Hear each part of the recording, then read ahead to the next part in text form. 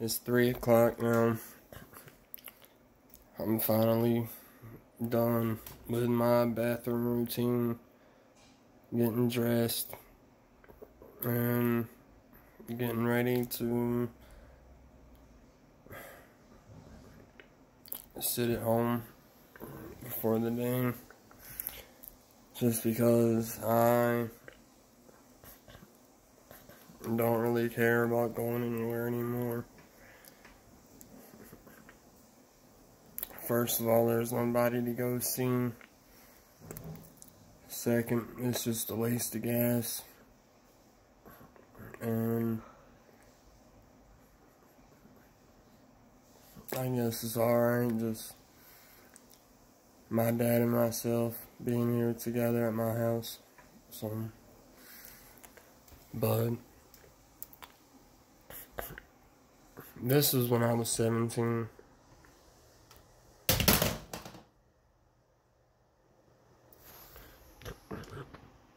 I'm now 34.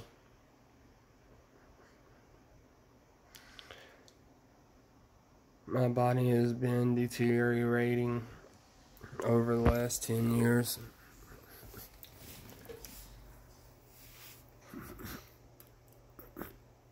Over the past two years.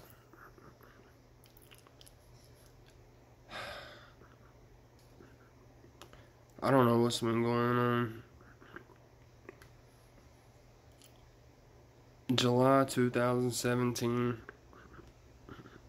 I weighed around 200, 210 pounds. I worked really hard for a year to lose weight. I lost right around 20, 25 pounds. And I was happy with that. But for some reason, my body is still losing weight. I don't know why.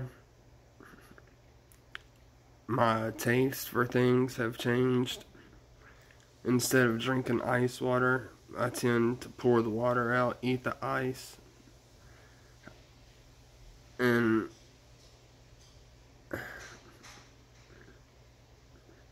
I weigh 140 pounds now. I don't know what the fuck is going on. But this will be the first video from this documentary, or whatever you want to call it.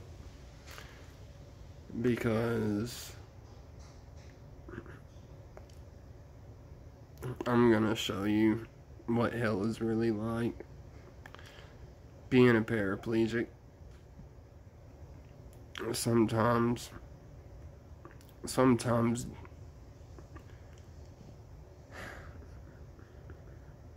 sometimes you pray for death just because you're so tired of the bullshit you have to go through.